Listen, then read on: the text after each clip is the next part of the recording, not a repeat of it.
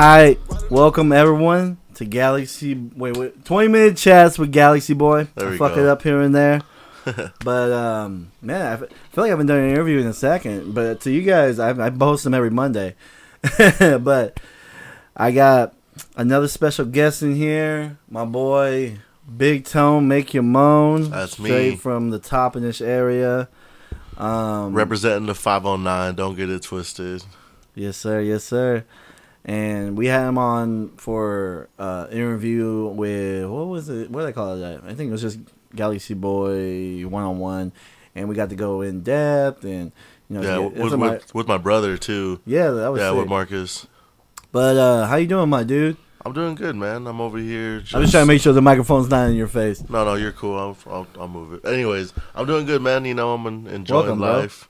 Yeah, hell yeah.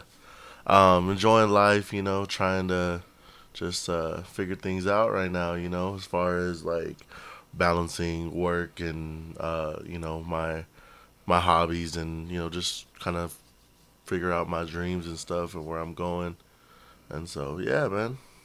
No, um, you you know like you're starting to dabble into auto tune, and Mhm. you know you just played me a couple tracks with you and David. Even David got auto tune. Yeah. Um, what made you start dabbling in the auto tune? I mean, like no one just wakes up and they're like, "All right, let me just you know put some fucking crazy shit on my voice." So to be honest, I um I've always loved like like Tory Lanez and like Chris Brown and like a lot of like dudes who like sing, but they use auto tune over their singing vocals. You know, like they can sing in real life, but they still Sound pretty hard with some auto tune. yeah. And so I've always was like, fuck, like I just love the way auto tune sounds and how like it can just make somebody who doesn't have a very great voice have one. And um yeah, so that's kind of what I've been doing. Um What what what uh what would you say to people who like you know I feel like we're we're past the the taboo of using auto tune at this point, but uh some people are still about that. They're like, oh man, how dare you use auto tune? You use your fucking natural voice. And shit. What would you say all that? Honestly, I just say just do what feels right. Like honestly, like me personally, I like especially with like you know even like people I know like even like like I'll show like my music to like my mom or my brother and um like they'll be like oh you know it's like too much auto tune but like for me I'm like that's what I'm like like the same people they're listening to on the radio has Yeah. you know the crazy amount of auto tune more than I do but they like that because they don't know what their natural voice sounds like. So it's like they want to hear my natural voice because they know me, but like me personally, I want to sound like who they listen to. So I'm like, that's that's kind of what I wanna want to do. So I I just say just do what feels right. If you think it sounds great the way it does, um, you know what I mean. You can ask people for your opinion, but at the end of the day, it's like it's all up to you whether you want to do it or not you know and so um, that's kind of like what where i've you know been like kind of having the like the tug and pull you know with with Yeah, I was about to ask you. The whole there's a tug and pull. All right, you know they're telling me something. Do I listen? Yeah. kind of like in your head. Yeah, honestly, I mean, like, there's some points where like people will like tell me like, oh, you know, like the hook is great or whatever that I'm singing is great, but just you know, just throw a little auto tune off, like, or take a little auto tune off, and mm. I'll listen to it. You know what I mean? I'll figure out a balance, but like. There's just some people who are just like, yeah, I don't like it because of the auto tune, and I'm just like, well, I do, you know, it's my shit, you know what I mean? Like, like my name is on this, not yours, you know what I mean? So, get it. Yeah, shit, and man. so I mean, I do appreciate the opinions, though. I'm not gonna Fucking lie, I uh, you love them. They have they have all this room to land somewhere, but they want to land on your fucking face. Bro, I fucking before I left my house, I fucking sprayed this shit crazy. Like, it, you know, if I was in there, I'd probably be dead. Fuck. and I come in here, these motherfuckers are still living here. yeah, bro, no cap. I got like two roommates here now. No one's paying rent. no cap. Uh, no. Landlord's like, hey, I got, I got, I got to boost the rent a little bit. I No. saw, saw you got like a whole family here.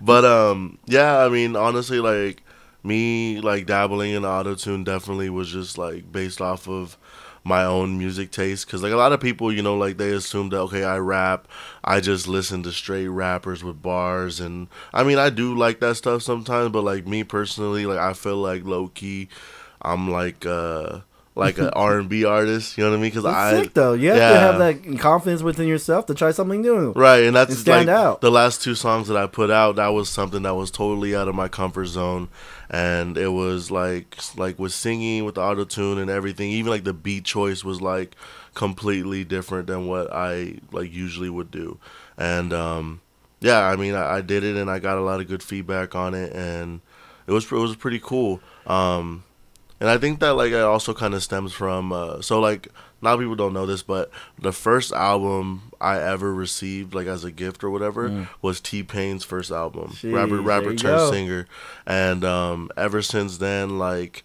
I've always been in love with that auto tune sound because I've always loved the way T Pain sounds with it. He, you know what I mean? Like he is like They the, still slap to this day. no, exactly, and uh, and also like you know he inspired a lot of the people who use it now. You know what I mean? Like I remember I was watching this documentary and he was just trying to figure out a way to use the auto tune because I think like Cher Cher used auto tune on like this one song. Um, was it like the Do you believe in? love?" She used auto tune on that song. No shit. Yeah, and nobody like like in the industry even said that they use auto tune because the guy who made it, it was like kind of taboo to use it. You know what I mean? so, um, T Pain figured it out. He finally found a plugin of what the auto tune was, and it was by that guy that Antares, the one who you know makes auto tune now. And um, yeah, he he built the whole thing, and like that's how auto tune came into hip hop was basically through T Pain.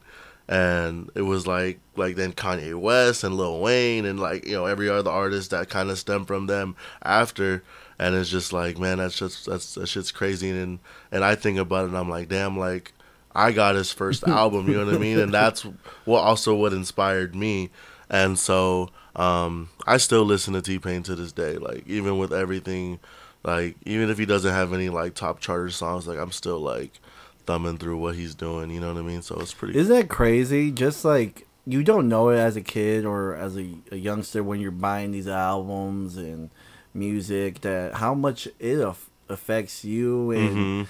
Uh, and if you did decide to dabble in the music, um, just where your styles come from, you know? Yeah, because honestly, like the people that you listen to, like obviously they shape you into who you are.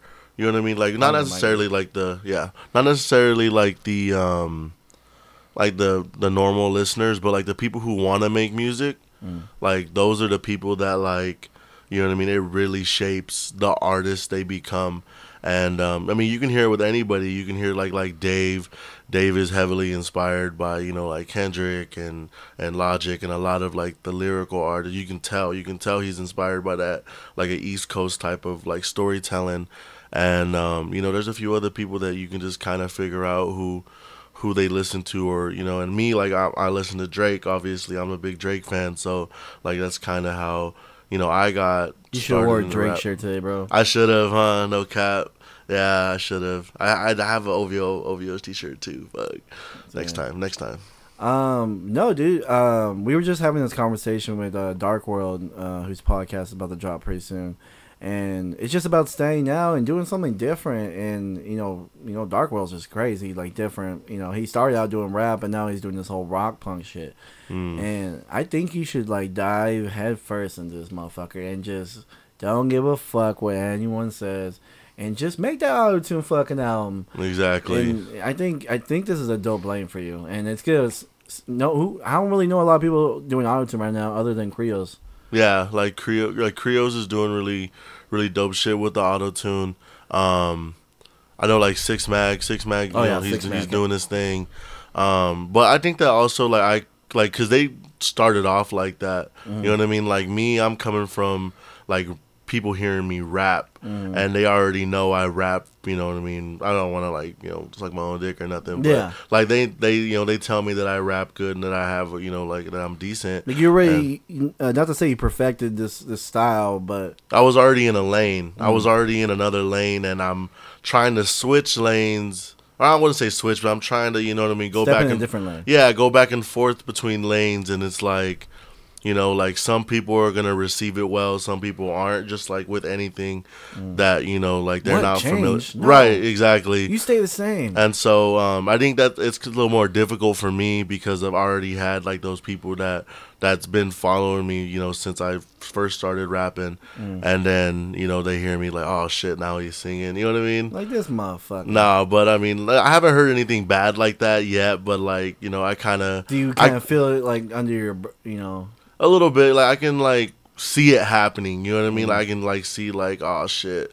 You know what I mean? Like why are you only putting out this or why are you? You know what I mean? So I, I'm still trying to like bounce back and forth. You know what I mean? And so, but like I say fuck that.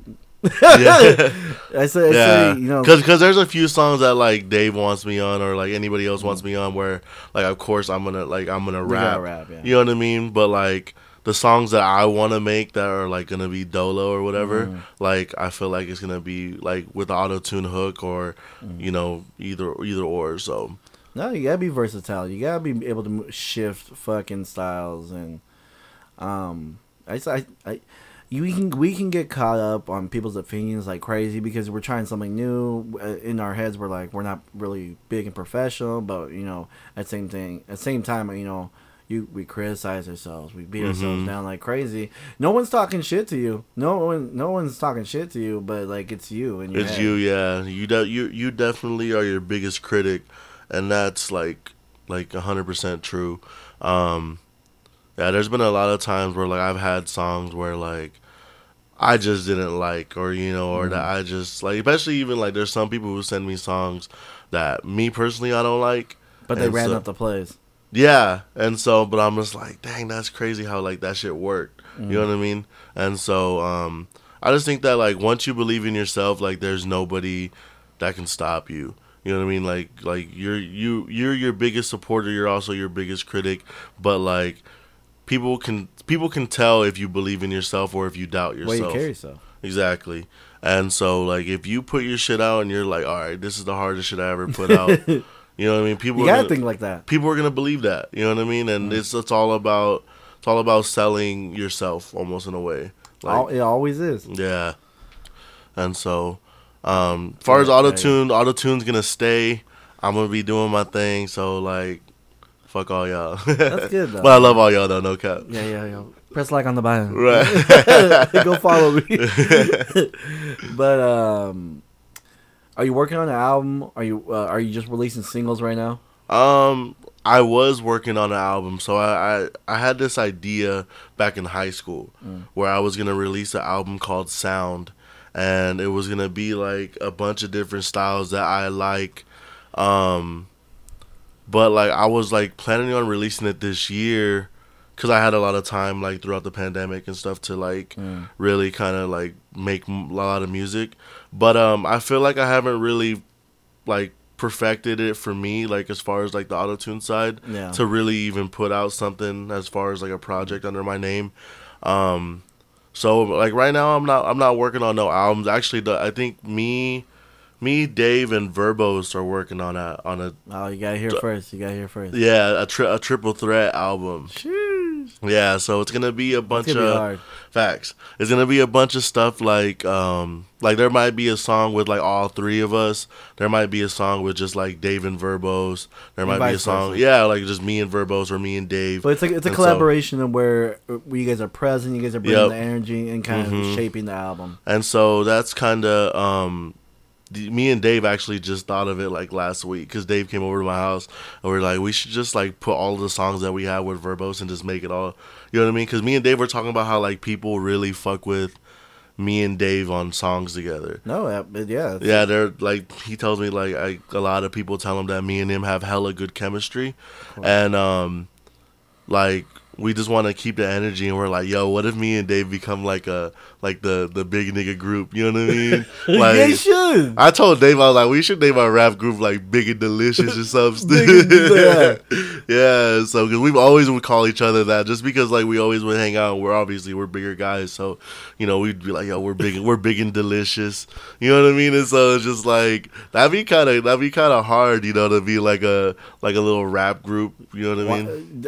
Get the fucking I'm telling you right now, I, without a doubt, You should start with. We're gonna we're gonna be we're gonna be like Red Rae Sremmurd. Right, yeah, but you yeah, that'd be kind of hard. No cap. Just you know, I I think you guys should do that, man. Like just separate set uh, a separate distro, you know, account with Yeah. another thing and start it, man. Actually, uh, on my distro account, I have the label. oh, the label I'm one? paying for oh, the so label. perfect. Yeah, so I already have like the the Dave and Big Tone like separate artist page, Mm. as well as like I think I have one with me and AM, and then I'm gonna have a third one with me, uh, Dave and Verbos, so we can release the album under all of our names and not have to worry about you know it just being under one or yeah, you know or features or whatever. We can just you know just put it out as a collective and not have to worry about uh you know whose page is going on or any I- of the I bullshit like that. definitely, Yeah, so um I'm excited for that. yeah, man. big things coming up. I don't even know what the name of it's gonna be yet, Of or how many you guys really thought tracks. about it. Yeah, and so, but you know, we do have like a good solid, probably like seven, eight tracks already done. You know what I mean between all of us. That's a good start. Yeah, like I have like I have like four or five songs with with Verbose alone. Um, I, I know Dave has like probably like two or three, and then um, like all together, like me and Dave have like a few together already, and so Mm. it's gonna be dope though. Trust me. Yeah, no, you just played one of the tracks, and I was like, damn. Oh, yeah, yeah, I played- yeah. That's just hard. Um, what's going on with Messy Room? You guys, you guys, uh, what are the plans there? Are you guys, uh, cause I could have swore there was like an album going on or something. Yeah, so uh, right now we're working on, I think it's Messy Room Sessions three. Mm. Cause I don't think I think they already put out. Or it's either Messy Room Sessions two or three. I think it's two. I think it's two. Yeah, Mm. because I know they came out with one already, but I wasn't. I'm, I wasn't sure if they came out with a second one. Mm. But um, yeah. So we're we're planning on on doing that. So like Johanny and and Rex are just sending us beats. Damn, And, that, um, that must be sick. Yeah, so they're just sending us beats, and we're just trying to get them all done. But it's kind of you know like everybody has lives, everybody has you know It's hard scheduling. yeah, it's hard scheduling, and so and honestly, I would love to like get together in like a studio session Mm. and like have all of us there so we can all just vibe and just figure out the whole vibe of the album. Yeah. You know, have a little like, Instead like just like one person comes in and then yeah, or or just or just submitting songs that are by ourselves. You know what I mean, and just being like, okay, I made this in my room, and you know, here you go. Yeah. you know what I mean. Or whoever wants to hop on it, hop on it. Like I want us to like really like dive in, like just like pick a day. And then just like like a pick a day like ahead of time, or like maybe even a weekend, and just ask for those days off or whatever, and just fucking get it done. Because I feel like you know what I mean? Like the most, the the greatest music like that you can make is always like amongst your peers, mm. and you know, like obviously you're you get inspired just by standing next to somebody, you know, and so or hearing something that they play or you know coming up with different flows and stuff like we're all you know we're all in this together and it's all to support our end goal and it's to get this messy room sessions you know um album done and so um yeah i mean maybe maybe maybe I gotta sit down and talk to him about it. But yeah, like I I want to I want to do that. But the the second song I showed you with me and Dave, that's for the messy room sessions. Oh, nice. Yeah. Yeah, so we're trying to figure out who's gonna be on the the second verse. but yeah, and so um and I don't I I don't think you know, but uh the Verbos and uh and um uh his friend Frankie Mm. um they're part they're they have a little label called ETG Oh, and shit. yeah, they have a little little label called uh, uh, ETG, and I guess they're like a like a branch of Messy Room now. Oh, that's dope. Yeah, we we locked it in with with uh, with Verbos and them. So I mean, like it, it makes sense. You, you, you- When Mhm. you collaborate, you know, always around. Yeah, It only makes sense to like, hey, you want to just be a part of the crew. facts. And shout out Frankie. I met him a couple weeks ago at Hoops for the first time. the best place to meet people. Yo, always at Hoops. Come see me every Monday and Thursday. I'll be there. Hey. No, um, no, I'm, I'm, I'm excited. No, messy rooms is dope. Messy rooms dope, and the fact you guys are still like, you know, um, together and you know building a great relationship with it with each other. You know, it's hard to do. It's fucking hard to do. Facts. Yeah, and so um, we're just you know focusing on getting it done, and big things, big things are coming. Oh, also, I think we are working on getting some shows Nice, as bro. well. Yeah, we wanna we wanna do some shows, and so um, I mean, we're probably we'll probably start slinging tickets for them shows once we get them locked in, and uh, yeah, like I hope hope you know the the Valley can come see us and everything. Um, me and AG we're going on a bike ride. We coming back and we see this big ass stage. Like someone set up a like a Mexican house. They set up a fucking big ass stage in their front yard. And I was Mhm. like, damn. But there was no one there. But I was like, damn, they made that shit fucking popping. I was like, and then it made us just a fucking light bulb just hit our head. I mean, we always talk about it, but like making our own show. Yeah, that'd be cool. That ass. Yeah, that'd be. Honestly, I, like I, I think me and Dave have had this conversation before about like even like fucking doing like a pop up show out of the back of a fucking tr- a pickup. We can get we can get heads like crazy. No cap. Yeah, just like just time and place. Everybody meet there. You know what I mean? Just have like a good, you know, a good sized speaker or something. Mhm. You know what I mean? And we can just do it. That'd be. I mean, honestly, that'd be super cool. And I, you know, I'd hope that the community would come and support. You know what I mean? And It's just like a two week notice. Yeah, you know what I mean? Just something, just like a little. and everyone promoting it. Um, yeah, me and me and AJ were talking about. It. I was like, bro, I was like, it's easy. It's easy as fuck. I was like, we Mhm. get Big Tone, Dave, and like, I, I- like the fact is, I know so many people, and everyone's so cool with each other that it would be no sweat. Yeah, like dead ass. Like, and we all like, especially our age group. Our age group, like, um, like of, of the rappers that are coming out of the valley, we're like really like in connection with each other. Like we communicate with each other and talk to each other, Mm. and so it's like, you know, we don't have no um, what are the words like uh, like borders with each other. No where borders. we're yeah. So, um, you know, anything that we want to do, I'm pretty sure anybody would be in. So it's just we like, need to do it, bro. no cat. We, we should we should plan it out. I'm down. I'm Yeah. down. Yeah, Um, got you. I gotta figure out how to rent a speaker, and we- we're we're gonna plant the seed on this. Mm-hmm. and I want to get it done. It's it's so easy, and I- the fact we haven't done it before, it's it's it's un, unspeakable, but Sensational. sensational. You should see. Shout out Esco. You should should have been here uh, with Earth One. Uh, you know, he was like ASMR and stuff. Oh yeah, yeah, Yeah, I saw, yeah, fucking have him in here, man. It, it, it was nice to have him over here, man. I yeah. I, I haven't seen him in a minute, um, just because of scheduling. But yeah, that's my that's my guy for real.